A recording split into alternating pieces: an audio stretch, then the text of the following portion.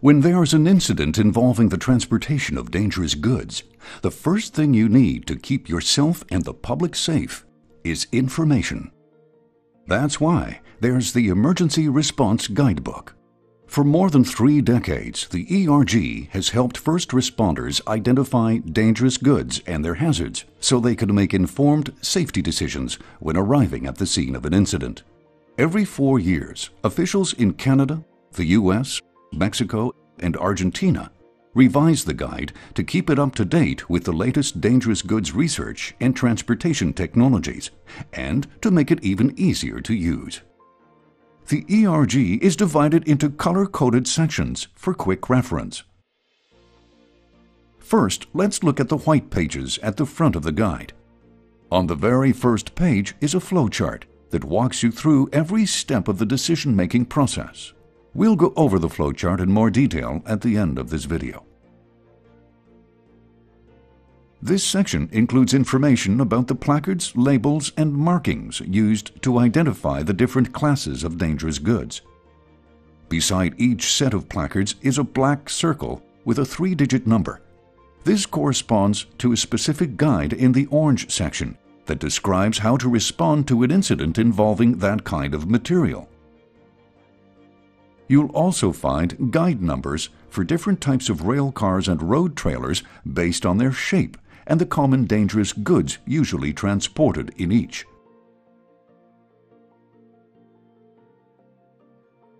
If you know the material's four-digit UN number, also known as its ID number, start with the yellow pages. Here, dangerous goods are listed in numerical order by UN number, followed by a three-digit number corresponding to a guide in the orange pages.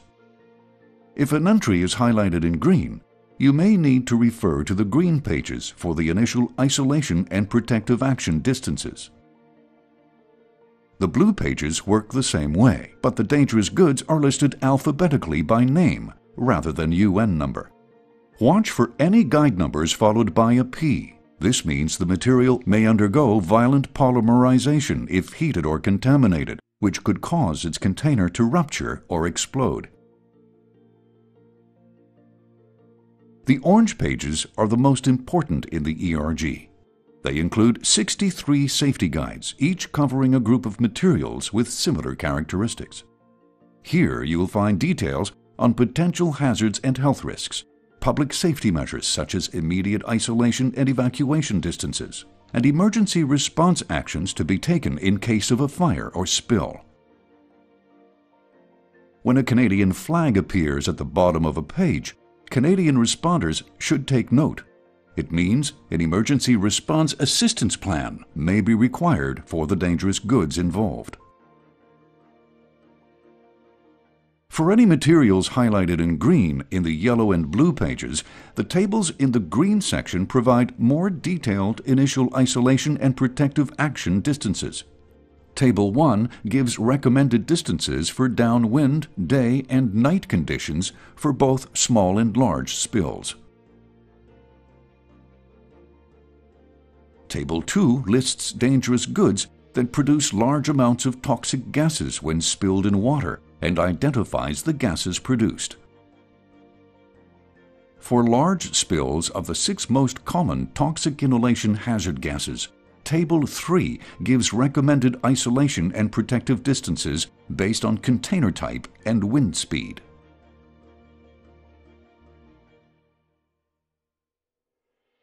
The white pages at the end of the ERG contain a glossary of terms and other important information, including safe standoff distances for improvised explosive devices, distances for boiling liquid expanding vapor explosions, or BLEVE, and the User's Guide. For in-the-field decision-making, the ERG includes a color-coded flowchart that walks you through each step. Here's how it works. Consider, for example, a large gasoline spill. You don't see an explosive placard or label on the container. But the UN number is clearly visible, 1203. That takes us to the yellow pages, where we see the material involved is gasoline. The three-digit guide number for gasoline is 128. Since there's no green highlighting and no P for polymerization, we can go directly to Guide 128 for instructions. Now let's consider a more complex scenario. A rail car is leaking at a facility in your area. You don't see an explosive placard or the UN number, but an employee confirms that the rail car has chlorine inside of it. Since you know the name of the dangerous good, you go to the blue pages and see that the three-digit guide number for chlorine is 124. Be sure to note its UN number as well, 1017. You see that the entry for chlorine is highlighted in green.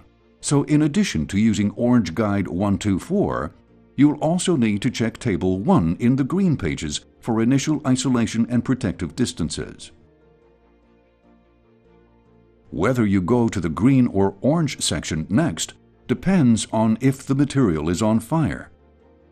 In this case, it is not, so you can proceed to Table 1. If it was, you would first check Guide 124 for fire and evacuation details. You see that the listing for UN 1017 has a note saying to check Table 3.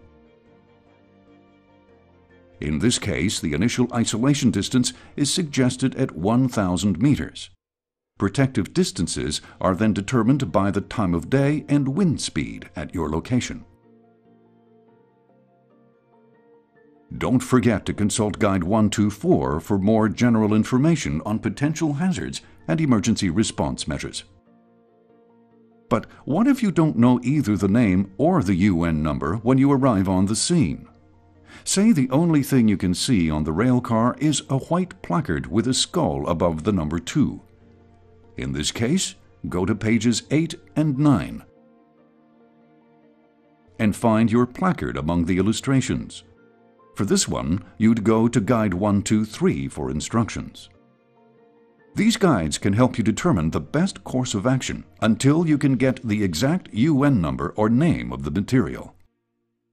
No matter the situation, never rush in. As a first responder, safety is your primary goal. With the ERG by your side, you have everything you need to quickly make the right decisions to protect both yourself and the public. For more information on how to get your copy of the Emergency Response Guidebook, visit CANUTEC's website today at tc.gc.ca/canutec. A mobile app is also available for Apple and Android devices.